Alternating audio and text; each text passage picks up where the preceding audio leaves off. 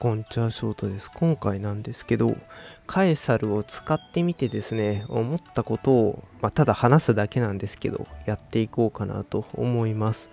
で、まあ、取って良かったか悪かったかで言うと、私は良かったと思っていて、かなり強いキャラクターだなと改めて思いました。ちょっと、あの、前回、評価した段階ではちょっと悪いところにばっかり目がいっていたところはあるんですけど撮ってみると意外とですねそこも、まあ、気にはならないと言ったら嘘になるんですけど、まあ、それ以上に強いなと感じたのでそういったところを話していけたらなと思います。えっとまあ特徴を最初に話してまあ悪かったところ良かったところで取るべきかっていう話をしていこうかなと思います。で特徴なんですけどまあ、やっぱりこのキャラクターの初めての試みである真髄スキルですね。真髄共鳴スキルでしたっけ？まあ、あれの防御無視耐性っていうのがやっぱり強いかなと思いますね。まあ、これに関しては脅威とか最上とか、まあ、筋力値ベースの防御無視と攻撃力ベースの防御無視を、ま、弱体化させることができるっていうところで、ま、特に防御無視関係ですね。あの攻撃ベースの防御無視の、ま、軽減率っていうのが、ま、軽減してるなという感じはありました。で、まあこれは MR 全体に言えることかなと思うんですけど、パッシブのベース値っていうのが今までと比べ物にならないぐらい高いっていうところですね。筋力値、レベルかける240とか260で喜んでいたのにいきなり360も来てかなりびっくりしています。で、武器もですね、あの攻撃力19%になったり、体力値280でしたっけ？それぐらいのパッシブがついていたりして、まあ、全体的にパッシブのベース値が高いっていうところで、ちょっとここに書いてないですけど、まあ、育成値も高くなっているんで、まあ、最終的なあの性能で性能というか強さで言うとやっぱりカエサルっていうのは非常に強くなることができるのかなと思います。で、このキャラ防御無視耐性あるんですけど、まあ最強の部類だと思いますね。防御無視性能っていうのも、まあ、筋力値8倍ですね。の防御無視性能っていうのもついてくると。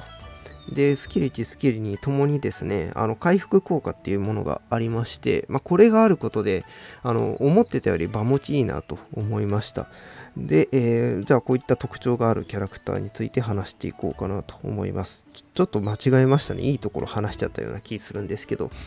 はい、えー、ここから悪いところを話していこうかなと思います。で、やっぱり最初に思ったことは、これは取る前から分かっていたんですけど、とにかく反射に弱いですね。特にテーフとか持ってる方結構いらっしゃるのかなと思うんですけど、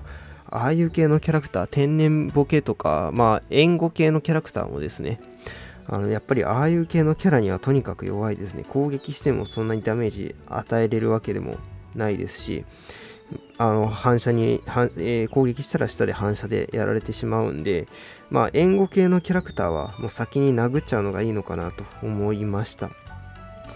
で、まあ、えなので、HP 育成っていうのはちょっと頑張らんときついのかなと思いますね。あの、基本的に反射系のキャラクターって HP 特化にしていることが多いのかなと思うので、まあ、どうしてもですね、カエサルの HP をどんだけ上げても あの反射キャラに及ばない部分はあるんですよね。まあ、なんで、まあ、それ以上に頑張るのはきついのかなと思うんですけど、このキャラ短期で行きたい場合は、特にですけど、HP 育成っていうのは頑張らないとすぐ反射でやられちゃいます。実際ちょっと私も反射ですぐやられてしまうような挙動っていうのは、まあ、確認しておりますね。で、スキル1にですね、まあちょっと右にスキルペタって貼ったんですけど、スキル1の敵の残り HP が50%以下の時かつあの特殊状態のになってる時っていうのがあの残りターン数1減らすっていう効果があるんですよ。白バフ。で白バフの効果を一旦減少っていうのがあるんですけどこれが生きる場面っていうのがほぼほぼなくてですね。まあナタとかにうまいことハマればいいのかもしれないですけどあのこのキャラのあのスキル1がですねあの残り HP パーセンテージが最も高い敵を6回集中攻撃しなんであの途中で敵あの攻撃対象を変えるっていうことができないんですね。まあそれがいいところでもあり悪いところでもあるんですけど一発目でナタを狙っておかないとあんまりこの白バフ現象っていう効果っていうのは得られないっていうところがあります。で、あともう一個問題なのが白バフ解除って書きましたけど白バフ現象ですね。あのこれ解除してほしいんですよ。あのなんでかっていうと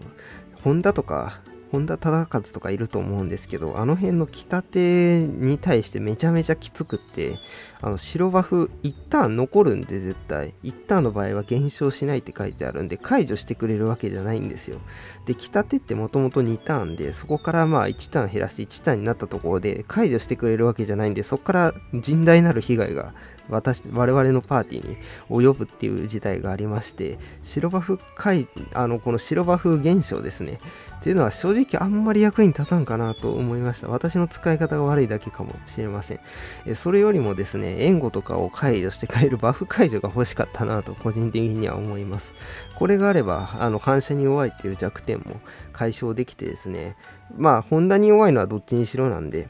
まあ、ホンダ以外の反射キャラクターには強く出れたのかなと思うので、バフ解除が欲しかったですね、と個人的には思います。で、あとですね、このキャラ防御無視耐性はあるんですけど、純粋な火力にやっぱり弱いんですよね。あの防御無視じゃな防御無視を使わずに純粋に火力を出してくるキャラっていると思うんですけど、まあ、やっぱりそういったキャラたちには普通に大ダメージを与えられて落ちるっていうことはよくありました。あと、それでそうですね、HP パースあの HP による防御無視とかもですね、孫権とかがそれに当たると思うんですけど、やっぱりそういったキャラからも普通に防御無視のダメージを食らってしまって、すぐやられてしまうのかなと思いました。で、もう一つあるんですけど、まあ、カエサル、カエサルがカエサルにダメージを出しにくいんですよね。っていうのは、まあ、スキル1の主なダメージソースが、まあ、筋力値の8倍の防御無視なのかなと思っているんですけれども、まあ、カエサル自身がですね、防御無視、筋力値ベースの防御無視耐性っていうのがあるんで、まあ、カエサルがカエサルに攻撃するとちょっとややこしいんですけど、あのダメージを出しにくいという問題があります。で、あのちょっとここが心配なところであって、今あまあ、今回、初っ端でこういう防御無視耐性っていうのが出たんですけど、多分今後も増えてくると思うんですよね。筋力値の防御無視耐性に弱いんですけど、カエサルの場合は。まあ、こういったキャラ多分どんどんどんどん増えていってどんどんどんどん増えていくとあのこれ防御無視結構げあの軽減されるんですよ。ここに書いてありますけど防物理防御力が63万の場合敵の筋力値ダメージをまあ大体90%ぐらい減らすと。まあ、なんであのかなり防御無視の性能っていうのは落とされてしまうんですね。この耐性があると。まあなんでこれからちょっとどうなっていくかわからないですけど純粋に火力を出せるキャラがもしかしたら生きてくるのかなと思っていて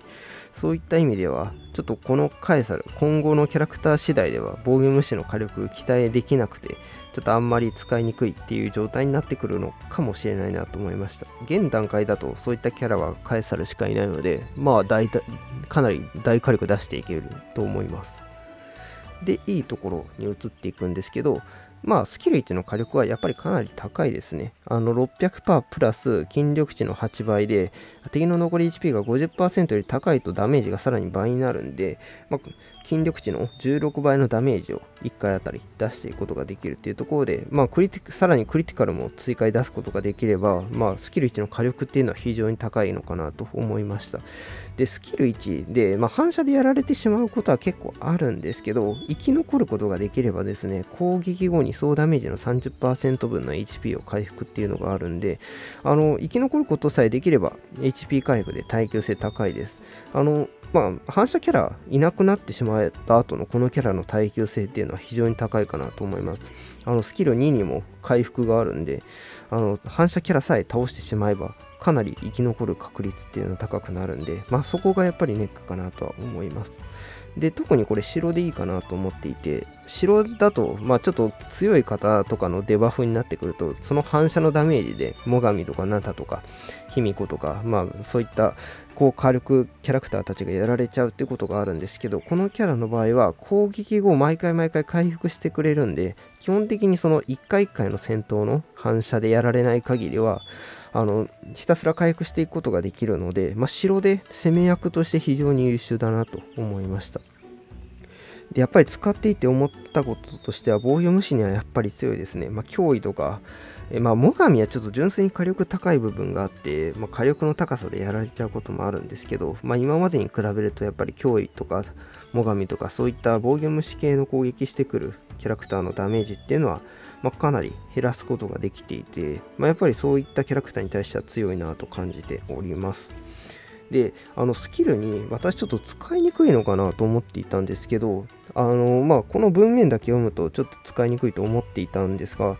あの最近ですね、まあ、ナタ入れてる方とか基本的に多くてですねこの優先的に HP パーセンテージが最も低い敵を6回攻撃するんですけど、まあ、これの攻撃対象にナタ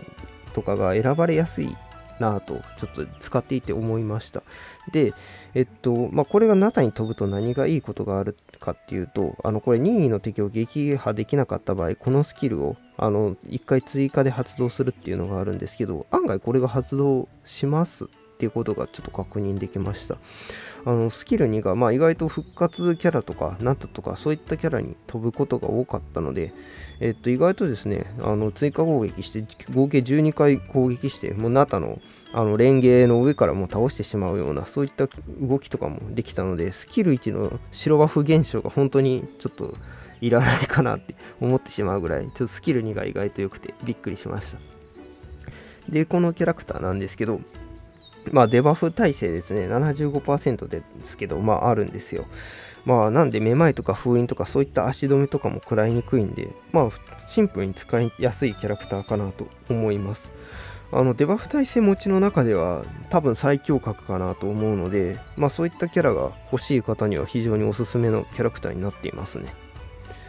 で、取るべきかどうかで、まあ、ほとんど変えてないんですけど、えー、まあ、戦役に、まあ、短期特化で言うと、戦役ではやっぱり、えーと、防御無視の火力に頼っていくことになるんで、まあ、あんまり使い、あの火力として出していきにくいのかなと思ってる部分はあります。ただ、ボス戦はですね、あの使いやすいかなと思いました。というのも、スキル2が、まあ、最あの敵ボス倒すまでは基本12回攻撃になってくるんであのボス戦での火力っていうのは非常に見込めるキャラクターになっているんですね。